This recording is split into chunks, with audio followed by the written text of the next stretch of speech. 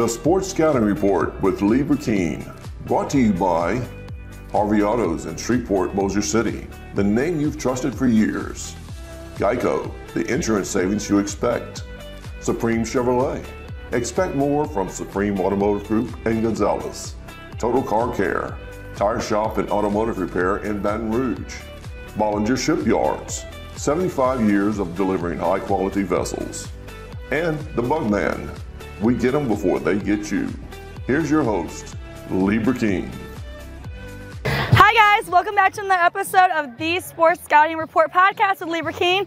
I'm Mackenzie Alexander and I'm so excited because today we're at Dutchtown High School. Well, they'll be versing Covington High School, which the players that we're going to get to interview today at Covington High School, man, are they a story. And we have four great players that just, they're generations of football that have just impacted, I mean, just from fathers to grandfathers, the impact of football throughout their family history is just incredible, and we're so excited for you guys to see, um, including Kylen Williams, uh, one of the four players that we're going to interview today.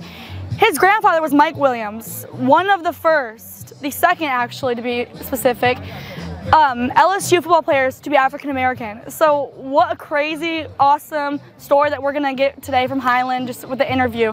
So we're super excited and yeah, we hope you guys enjoy the show. Listen, whatever you're driving right now, Tommy Harvey wants it. Bring it in to Harvey Subaru, Lexus of Shreveport, Bossier City, or John Harvey Toyota. They're paying big bucks for all trades right now. They'll cut you a check right there. Tell them Lee sent you.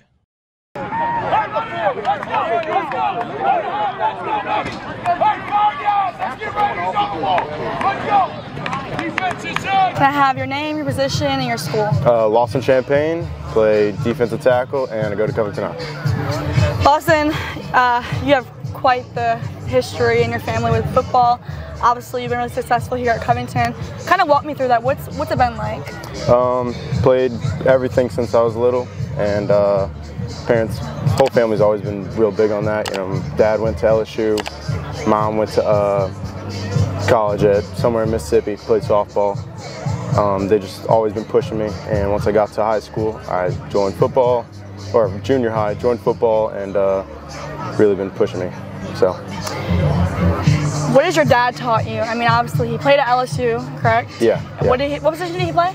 Uh, he played left tackle. Okay. Tackle and DT, which uh, before before this year I've been playing left tackle. So he's been helping me, um, pretty much a secondary coach for me, and uh, uh, move it over to defense. And he knows all about that too. That was his main position. So been, it's been nice a big to have help. that to relate yeah. to each other because Yeah, it's definitely. like it's one thing to teach you without not even knowing what it's like, but he knows what it's like. Yeah, he does. He does, and uh, he's been a big help.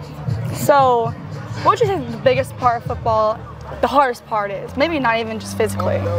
discipline i think um, last week's game that was our probably our biggest biggest thing was discipline just you know penalties just mentally getting in the game and i think uh, i think that's what we've, we've been focusing on this week so Do you think what you guys have made through progress with the discipline is going to really show today in today's yeah game? i think it will i think it will What are some of the things you've been doing to prepare for this game this week? um, just if like i said penalties last year uh, last week we've been harping on that uh, watching a ton of film you know going over plays over and over again and uh, just think that's going to show today Obviously, since your dad played at LSU, I'm sure you have a lot of people telling you around you, "Are you going to go play at LSU?" You know what I mean? They're like always wondering, but like, what is your thought process? Is that where you want to play, or is there maybe somewhere else you want to play? Uh, focus is academics, Yeah. but I do want to play in college. LSU, I mean, if that's an option for me, great. But uh, I'm thinking smaller school like SLU, some, somewhere around there. Because people don't realize, but if you go to the big D1 school, yeah, you can get your name on the roster, but Yeah. are you even going to see the field? Exactly. Because if you don't see the field, how are you even going to get recognized by Yeah. scouts and by you know the NFL, things like that? Yeah. So, have you had any offers yet? Uh, no offers yet, just sticking, grinding this year and uh, hoping for the best. Okay, you have anything else to say? Go Lions. Thank you. Supreme Chevrolet. Expect more from Supreme Automotive Group and Gonzales. Okay, who am I here with today? Uh, Coach Greg Salter, Covington High School. All right, Coach. How are you feeling about today's game? Uh, we're excited. You know, we had a tough, tough week. Um, you know, suffered some injuries and a tough loss last week after uh, starting off strong against John Ehret. So we're excited to be back on the field. Uh, Dutchtown always has a great team, um, always well coached, a lot, lot, of really good athletes. So it'll be a great test for us, and uh, we're looking forward to, to seeing where we stand as a coach, when injuries come up and things that are just so out of your control, what is the way that you just kind of handle that? Well, I mean, I think it's like you just said. You know, it's it's it's out of our control. It's out of the kids' control, yeah. and it's something that every team at some point is going to face, and that's what we told our kids this week. You know, unfortunately for us, it was week two. Yeah. Um, but you know, it's it's got to be next man up mentality. Uh, you know, we have so many seniors here that, that this season means so much to. Uh, guys have worked so hard, not just seniors, but the whole team, so hard through the offseason and everything else. And I think it would be a disservice uh, to David or Kylen or any of the guys that don't get to play tonight and strap it up. It'd be a disservice to them not give their best effort and uh, pick up their slack. What is it like just getting to coach a great program like this? And I mean, not only this program, but just the ones before. I mean, just the history, legends. Yeah, you know, it's it's something. It's, it's a place where I grew up uh, with my grandfather being the coach. Um, you know, it, it's something that I always uh, I always dreamed of being a head football coach. I never thought I'd be so lucky for it to be at Covington High School, and uh, to do that, and and you know, to to have experienced some of the successes that we've had, and to be able to deal with the kids, still same guys in the community, um, you know, that my grandfather coached, and we're getting you know those next generation players. Uh, it, it really is special and something that I don't take for granted. Having your grandfather be the coach, what was that like? Uh, you know, I tell you what, he casts a pretty big, big shadow. You know, yeah. it's one thing when your grandpa's a coach, but when he's a Hall of Fame coach and a state champion and everything else, you know, uh, you know, it, it certainly sets the bar high. But it's something that you know every day you know, uh, I do my best to, to, to, try to act in a way and carry myself in a way, coach in a way that would make him proud. And uh, every day I fail, uh, but it, it, it, you know, I'm, I'm, eager to wake up the next day and try it again. And you know, again, it's all about making not only him proud, but the alumni proud. Uh, such a story program, people take a lot of pride in it, and um, you know, and no, no one more so than me what's something that maybe people just do not understand about coaching or maybe just kind of like the task that it is i mean it's a great well, think, task but yeah i think the uh, you know the, the thing that no one and i don't think anyone will ever understand you know the amount of time that you put in the amount of time that you're away from the families unless you are Sacrifice. a coach uh, are a coach and you go through it, you know, it's easy to say, but it's it, you know, it's it's a grind. It's just like it's a grind for the kids throughout the summers yeah. and the off season. Uh, but the other thing that I would say, you know, as a head coach, uh, I feel like I get to I, I, focus a lot less on the football part of it, the X's and O's. Yeah. Um, you know, it's it's more about you know the kids and managing the kids, and uh, you know you get a you get a front row seat to, to the home lives and and the uh, you know every, all the distractions and everything that these guys go through outside of school. Yeah. And it, as a head coach, you realize that the football part is very minuscule in the grand screen, grand scheme of things. So uh, we do our best to try to develop them as as people, um, and hope that you know if we teach them the you know the, the, the right way to care themselves and the right right way to prepare and, and, and teach them you know those core values that it'll translate on the field. And again, we've been very blessed with some successful teams and successful athletes. And uh, uh, it, it's you know my grandfather was one thing he always said. You know, it's it's a, it's a profession. Uh, you'll you'll never see the rewards. You'll never get rich doing it, but you'll be rich in the rewards that you get from it. And uh, certainly holds true. And uh, I, I wouldn't wouldn't want to do anything else. I feel like being a coach is super underrated because I mean you are literally shaping these kids, especially being a high school coach. I mean, when they go going to ninth grade, that's a, that's just when it's starting. You know what I mean? But throughout, it's they're growing, they're evolving, they're flourishing. These people, so you know, especially when they go on into play in college and you know the NFL things like that. Like I feel like that's a part people don't understand. It is, you know, and, and we keep track of all those guys, but not just the ones that were successful. You know, we've got we've got kids in the program that are doctors and lawyers and teachers and I have uh, a few guys uh, on my staff that, that I've coached. Um, you know, so we take pride in every one of those kids that go off and be, you know, that's what we say. We just want productive citizen in the community. Uh, but the most important thing to me, and I tell every team at the end of the year, is, uh, uh, you know, the, the only while the media will judge us by the scoreboard, yeah. uh, a scoreboard will never define who a coach really is. Uh, our wins and losses come 10 years, 15 years down the road when you see a young man become a you know a great father, a good husband, and you know, uh, again, a pr- productive member in the community. So uh, again, that's that's all the blessings that come with it. And uh, again, I wouldn't want to do anything else. Um, you have some great, great players, but let's just highlight some of them. I mean, Lawson Champagne. What are your thoughts on the kid? Uh, great kid, hardworking kid. Uh, he was a young man that came in. Uh, first time he ever played football was in uh, in, in, seventh grade. Uh, so he was kind of a blank slate when he came in, almost like a robot. He didn't have any bad habits. Great work work ethic. Uh, you know, his parents were both successful athletes, so he had that uh, that passion to be you know to be a great player. And uh, you know, I can't say enough good things about him. He's uh, just does everything right and the kind of kid you want in your program. Yeah, I mean, talking to Lawson, he just seems very humble. He is. Yes. And I mean, you know, having so much success within the bloodline, you you never even know. Right. Right. Yeah, and it's something you know he, he knows of uh, not only his dad's success in college, but his mom was uh, you know I, I was a couple years behind his mom in school, and she was one of the the best. Uh, softball pitchers in for four years in a row. She was first team All State. Like she was a legit athlete. So he, he he's got it on both sides, and uh, you know, blessed with that that talent. Blessed with you know, again, they were they were they were hard workers, and they you know had to uh, had to grind to get the success they got, and they passed those traits on to him, and uh, couldn't be more proud of him. All right, Kylen Williams, what are your thoughts on the kid? Kylen is, uh, you know, I, I, I don't want to say that he is going to be a special talent because he already is. He's been very successful for us as a freshman and uh, and so far to start his sophomore year. But uh, it's you know I have to pinch myself knowing that I get to have him for two more years um, he is uh,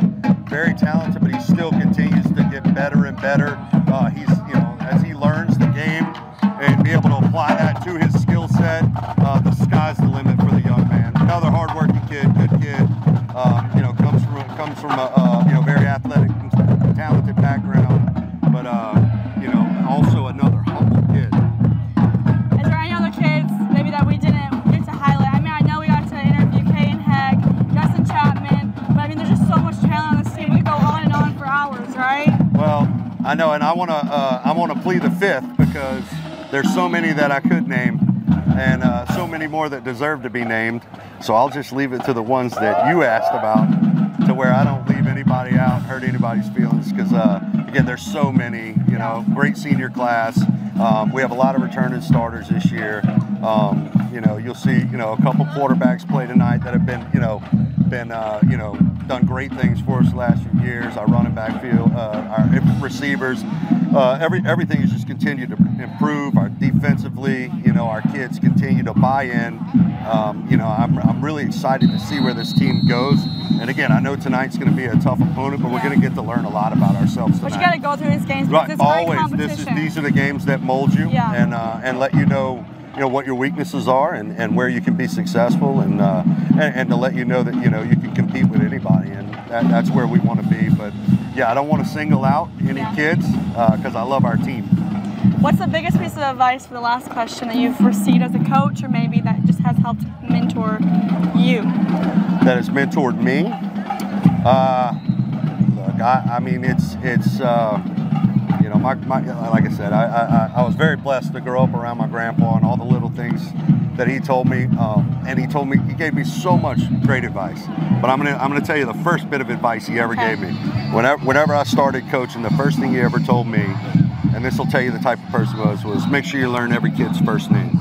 Don't be that coach that calls kids by their last name. Make sure that they know that you know who they are as a person and uh, and when and, and when you're coaching the person, they'll do anything for you as an athlete.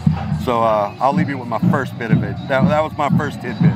Um, the many lessons over the years and things that I've learned on my own, learn on the fly. And like I said, I, I fail every day and continue to learn and, and hope that every experience just makes me better.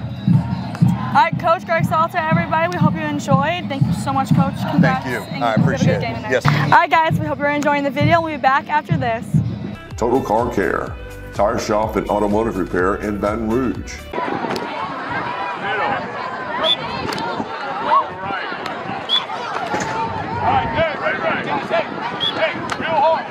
Who am I here with today? Amari Smith. What's your position? I'm a slot receiver. Okay, and what, uh, what school do you go to? I go to Covington High. Okay, Mari, what is it like being on Covington's football team? I mean, obviously there's a lot of great talent on there, talent from the past. Can you maybe walk me through that? I mean, it's first inspiring. I mean, it's really, it's really just a good experience and all. Like, just so many good people to pass through and stuff like that. So you got so much to look up to and stuff like that. What is one thing that maybe somebody's told you as a mentor or even a coach on the team that has really stuck with you? Mm, get bigger. Get bigger? Get bigger. Want to talk about that a little bit? So in this game of football, if you're not big, is that a big, big, crucial part? Uh, in some aspects, yeah. Yeah. We, you know, we got to get bigger in order to break some tackles, make some tackles, Yeah. things like that. Then, when colleges look at you and stuff like that, they'll want you to be a certain weight, certain height, stuff like that. Where'd your love of the game come from? Did you have a grandfather father that played football? I mean, everybody really on both sides of my family. It's just like, I feel like when I was born, I had the football in my hand. So Yeah. my father played, my grandfather played. Where'd your father play at Covington, right? No, my father played at Bogalusa. My grandfather played at Covington. Okay. So what position did he play at Covington? He played running back. He was he was nice too. Yeah? Did he Very get all state or anything like that? Uh, he I'm pretty sure. Yeah, he got all state. He got a few records in the record book. He went on to Southern Miss and then he played for the New Orleans Saints. So has he ever told you about just kind of the journey when it comes from high school to college, then to the NFL? Like has he told you kind of an inside scoop of like this is what it's like? Hey, uh, he just he just really told me it's gonna be hard. I just need to really get better, work on all my techniques and stuff like that. Make sure I'm doing my best. Make sure I'm doing good in school Yeah. and stuff like that. Make sure I'm always doing good academically. Yeah, because you're a student athlete, Yes, first a student, and I feel like sometimes people will get so it's such a big head and they'll forget that they have to focus on their school to even be eligible. Yes, and I feel like that's a problem, right? Yes, ma'am. Uh, yeah, I just really, everybody in my family really wants me to focus academically way before coming out here and, and doing what I do for football. Making sure I got all A's. They don't even like B's for real. So, yeah.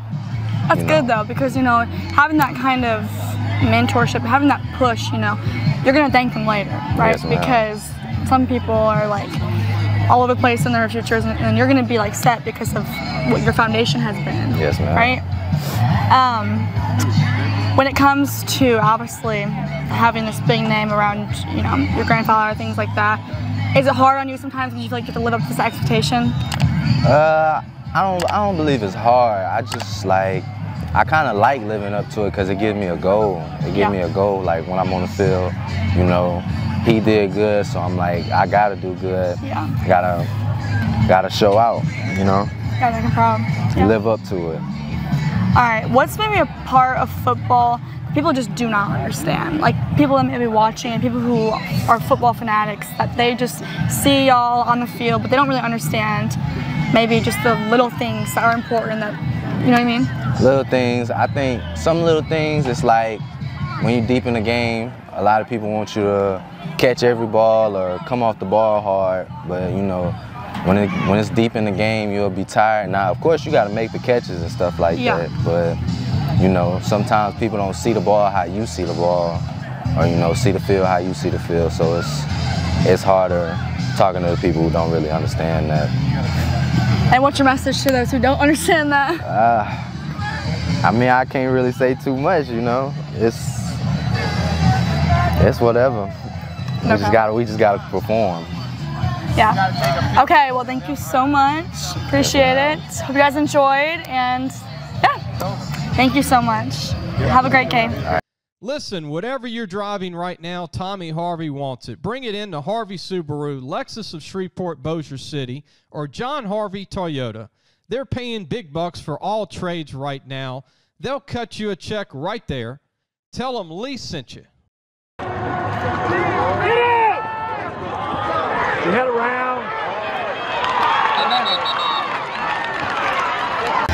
All right, Justin, how are you feeling about today's game? Good, feeling real good about today. What have you guys been doing to prepare? Uh, we've been grinding hard. Main thing we've been trying to do is just stay focused, not um, be able to finish throughout.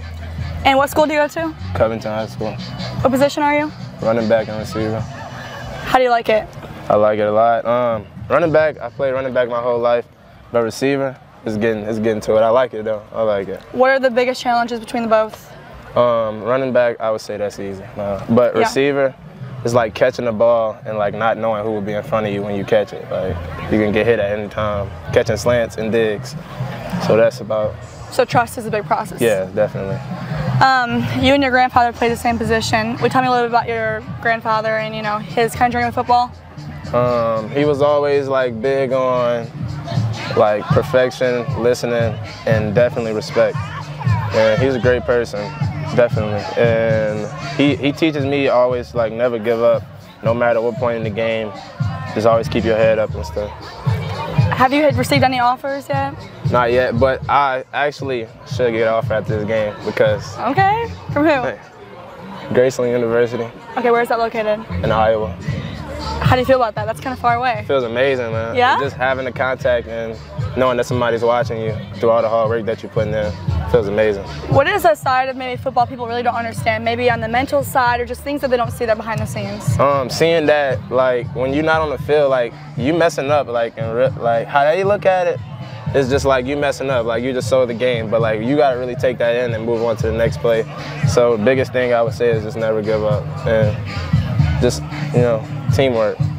Sounds like you have really good mentorship around you. Who's been your biggest mentor in your life? My grandfather. And in what ways? and like pushing me to never give up and stuff like and my mom also a big part she was always there for me So you've been playing football your whole life? yes ma'am Was it something you just kind of put your cleats on and you knew it was something you want to do for the rest of your life? yes ma'am playing from playing in the yard growing up playing against older people older cousins and stuff definitely Have you gone to Covington your whole life? yes ma'am Is there anything else you'd like to say? um go lions Thank you. Supreme Chevrolet. Expect more from Supreme Automotive Group and Gonzales.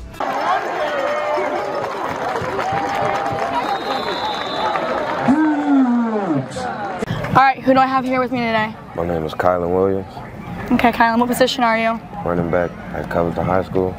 All right, Kylen, tell me a little bit about uh, your background with football and kind of just with that position. I've been playing football since Little League, from junior high on up and down. I was, I was once a defensive player, but I switched to offense once I got to junior high. I was playing running back in junior high. And I'm playing running back now at Covington High School. What is one of the things at Covington High School that you've learned, maybe through football or just through a mentor, that has really helped you in your career? A lot of things at Covington High that's really helped me in my career was like the coaches. The coaches actually helped me out a lot throughout the summer. I actually got a lot better from last year, my freshman year. This year I'm a sophomore. Obviously, you have a bloodline when it comes to football. Your grandfather, Mike Williams, he was the second African American LSU football player, which is incredible. Can you maybe tell me about that from what you've heard or what your grandfather's told you? Yeah, I didn't really get to see him play in college. I only seen like old videos. I saw some old videos of him playing cornerback in the NFL. He played cornerback at LSU. Yeah, I once trained with him before a few times before he got sick. But since he's been sick, we haven't really been doing a lot of things. But keeping close contact with him, Yeah. Was that a big part in the influence in playing football? definitely. Him and his career was definitely a big part, played a big part on my football career. I learned a lot from him. What is it like to have somebody who's just has that much, you know, knowledge of the game? It's actually good because he actually helps a lot of our family members that was playing the game. I have a lot of more family members that's playing right now still that he helped. I also help with them. Um, do you have any offers yet? No man, If there's a dream school you could go play for, who would it be? Georgia. Bulldogs. Really? Okay. Why? Why? Why Georgia? Uh, like when I first started watching college football, it was Georgia. Georgia was actually the first team I seen. They had a good set of backs, nice set of running backs, nice set of receivers and cornerbacks. I've been watching them since, liking them since, trying to get there. Uh, what do you think of Stetson Bennett? I'm not gonna talk about that. No comment. Um, what's a part of football that's kind of you didn't even realize was, was going to be a hard part until you really got into maybe your high school career, just as you were getting older? The size of the players. Like when my eighth grade year, before I got to high school, I thought everybody was gonna be like just my size. I thought I was actually big a little bit, but once I got up, everybody was bigger than me. I was like one of the smallest ones, but I was still playing good on the field with the older guys last year. Was playing good this year. Out on an injury right now for a week, but I'll be back. What happened? I rolled my ankle against Franklin. I'm sorry. Um, okay, I guess last question. Um, what is just the greatest piece of advice that your grandfather has given you the love this game? My grandpa told me always stay physical. No matter what position you're in, always stay physical. And always be on point with everything. Got anything else to say? Yeah. Thank you so much. Good luck tonight. Thank you. Thank you guys so much for watching this video. We hope you enjoy. We had a blast today getting to interview the coaches and the players here at Covington, at Dutchtown, and we're super excited for this game. So thank you so much for just taking the time out of your day to do this, coach and players. And don't forget to subscribe and hit the bell button, and make sure you come back for another video because we're just getting started. It's gonna be great. Thanks, guys. Thanks for watching the Sports Scouting Report with Lee Brecheen.